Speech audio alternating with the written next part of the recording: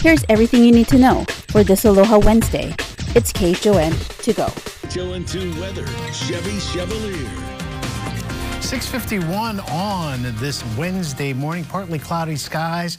We have uh, the low clouds and uh, just a very few windward Mauka showers across the island chain. Not much to be concerned about uh, if it's falling at all. So very light stuff in higher elevations for the big island. A couple of windward showers for Maui County and for Oahu, the same situation. Not looking at a lot of rain and it's not coming over to leeward sections as it did yesterday. Just a lack of moisture in the air this morning. Might get a, a better chance for rain showers tomorrow morning. Quiet looking uh, dry as well. So uh, that's what will be up, up and down with the moisture content uh, through the week. 5 to 10 for your winds right now. East northeast will go up to 15 to 20 with gusts possibly up to 30, maybe even 40 for windward portions of uh, Maui County extreme with your UV index. That's the only concern with the beach forecast. Otherwise, dodging clouds to get that sunshine. 11.5 uh, for your extreme uh, UV index. Small craft advisory until 6 p.m. Friday for the areas shaded in pink there. So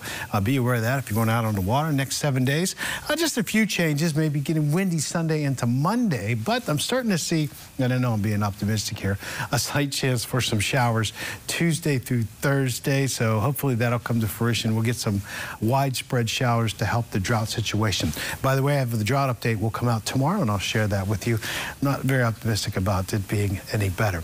Anyway, that's your weather forecast. And now for your surf, uh, we go to Gary. Good morning, Gary. Hey, good morning, Chevy. Well, small waves up on the north and west shorelines, flat to one, and better for paddling, diving, fishing, and sailing. And kicking back on the beach. Out in town, it's flat to a foot and a half, maybe a couple two footers. It's tiny. Next week's going to be pumping, so hang on. We're looking at one to two foot mush at Diamond Head. Sandy's and Makapu'u topping the list up to three feet and looking like fun sandbars. We've got trades filling in. 15 to 25 by late morning. Small craft advisories for the eastern half of the state, and this will last through the weekend. The high tide 11 o'clock, going low 3:30. Tides are flat. Sunset 7:17 and rising six minutes before six. Here is today's need to know. Former state lawmaker Jay Kalani English has been sentenced to more than three years in prison for accepting bribes in exchange for legislation.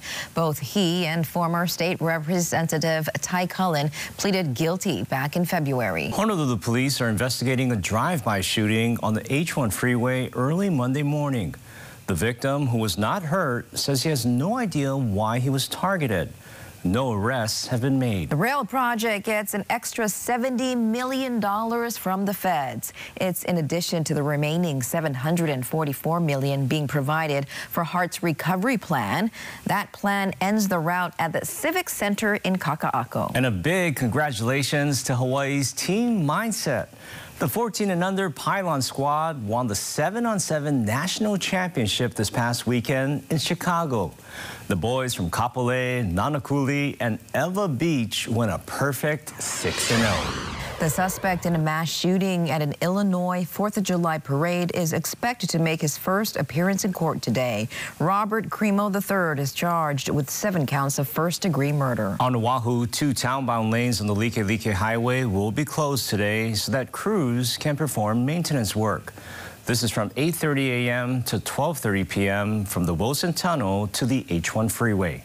Governor Ige just signed several climate and energy bills into law. This includes one that requires the amount of electricity state departments use to be tracked and reported to the public. And the city of Honolulu is letting Seagull Schools stay where it's at for another school year. Crews will then need to make repairs to the parking structure that the school sits on top of following extensive water damage. Well, you might have noticed lately mango trees filled with fruit. And it's apparently the season that keeps on giving. Cheyenne Sibley explains. It seems like every mango tree is filled with fruit this season, even if they haven't in the past. I spoke with a number of people who had mangoes in their yard, and they all agree. Uh, yes, this has been an unusual season that we have had mangoes, but at the same time, our tree is over 50 years old, so anytime we have any mangoes is a blessing. This mango tree behind me is quite large. When I spoke to the owner, he said about 50 mangoes drop a day, and this season in particular, they won't stop dropping. Many of the mango owners don't know what to do with all that mango.